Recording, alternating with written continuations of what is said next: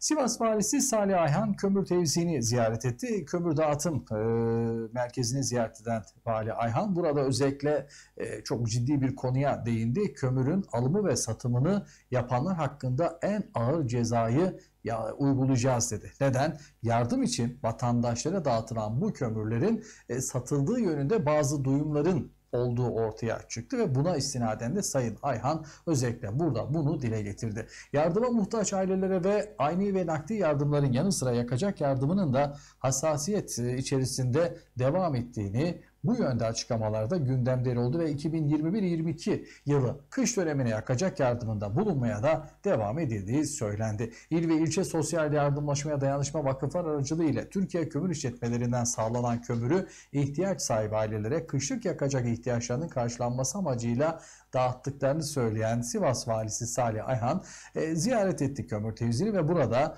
yapmış olduğu açıklamalarda neler söyledi. Dilerseniz hemen o açıklamaları da ekranlarınıza taşıyalım. Ee, biliyorsunuz malum kara kış geliyor. Hafta sonundan itibaren de yoğun bir kar yağışı beklemekteyiz. Bunun için de eee, özellikle ihtiyaç sahibi ailelerin durumlarını gözden geçirmek, kışlık ihtiyaçlarını özellikle yakacak anlamda kışlık ihtiyaçlarını hangi aşamada olduğunu değerlendirmek için sahadayız. Kömür deposundayız. Eee, şunu özellikle vurgulamak istiyorum.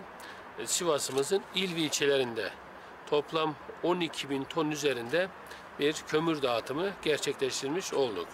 Ve il merkezine yaklaşık 4300 tonun e, neredeyse %90'ını temin edip ve 3700 aileye de 3700 tonlu 2900 aileye dağıtımını gerçekleştirmiş olduk. E, ve ihtiyaç, ihtiyaç olduğu takdirde de takviyede destekli olacağız. Geçen bir ton verilen kömür bu sene e, biraz sayıyı artırdık. 1300 kilogram vermeye başladık. Ve ailelerimizin de yine ihtiyacı olduğu zaman destek olacağımızı da söyleyebiliriz.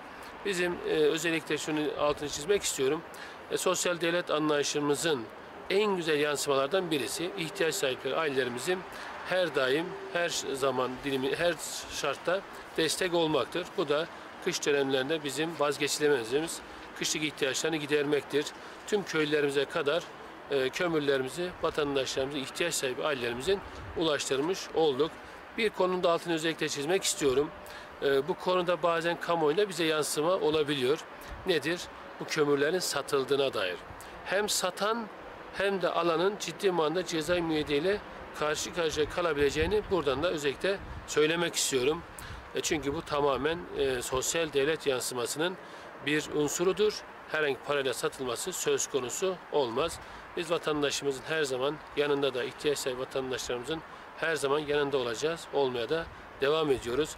İl ve ilçe sosyal yardımlaşma vakıflarımız her alanda ihtiyaç sahibi ailelerimizin takibini yapmaktadır. Onlara destek olmaktadır.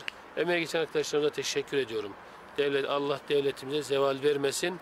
E, vatandaşlarımızı hiçbir zaman açta ve açıkta asla bırakmayacağız. Bizim çalışmalarımız sadece kömür dağıtımı olarak değerlendirilmemek lazım.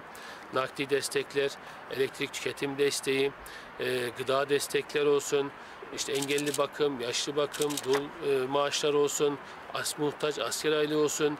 Mesela özellikle kış dönemlerinde e, e, sıcak güven projesi adı altında e, dışarıda başını sokacak bir olmayan vatandaşlarımızı da misafir ediyoruz. Bir otelle anlaştık. Kışın veya her zaman yaz dönemine dahil olmak üzere de özellikle kış dönemi daha çok ihtiyacı oluyor. Vatandaşlarımızı eee, burada çok rahat bir şekilde ağırlıyoruz. İhtiyaçlarını gideriyoruz. Bu konuda bir zaman kısıtı dahi olmaktadır. Şu anda günlük ortalama e, 40-50 vatandaşımızı da bu otelimizde, misafirhanemizde devletimizin şefkatli, merhameti kucağında ağırladığımızda söyleyebiliriz. Yani buradan şunu söylemek istiyorum. Bir e, sosyal meşrulaşma vakıflarımızın, devletimizin e, fakir fukara ve garip kurabaya ve ihtiyaç sahipli ailelerin adeta e, her sorununu e, ve her türlü ihtiyacını giderdiği merkez olduğunu söyleyebilirim. Emeğe geçen arkadaşlarımıza, vakıf mütevelli heyet üyelerimize, ilgili vali yardımcısı arkadaşlarımıza, kömür dağıtımı yapan firmamıza ve vakıf müdürümüze ben teşekkür ediyorum.